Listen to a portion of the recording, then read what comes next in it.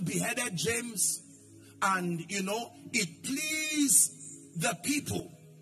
And now they had caught Peter about to destroy him. And the Bible says they kept him with four quaternions. He was in the prison and yet bound hand and feet. Go to verse 5. 12, 5. Acts 12. It says, Peter therefore was kept in prison. Please read the remaining part for me. But prayer was made without ceasing of the church unto God for him. For who? By the church.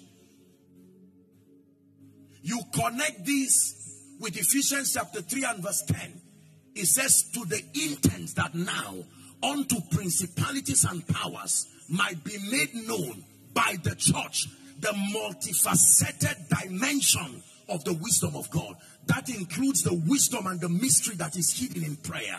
That a man had been bound, ready to die, but the church said no. We may not be in government physically, but there is an advantage that we have. It says, but prayer was made by the church unto God for him.